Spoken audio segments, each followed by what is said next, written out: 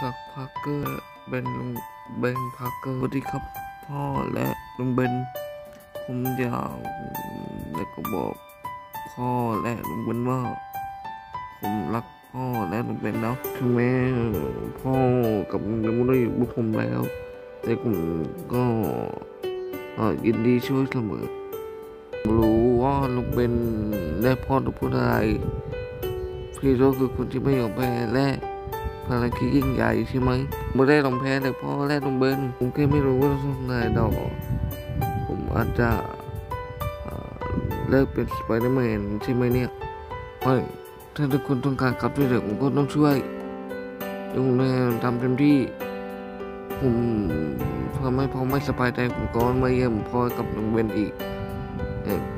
ผมรักพ่อนะ ผมก็รักนะลุงเบนสิ